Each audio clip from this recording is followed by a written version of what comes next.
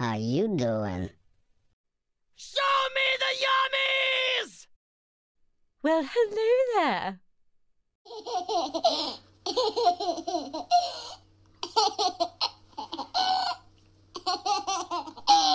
That was way harsh. I am surrounded by idiots. Listen, Bozo, you're a real cake eater, you know that? No wonder all the dolls think you're the bee's knees.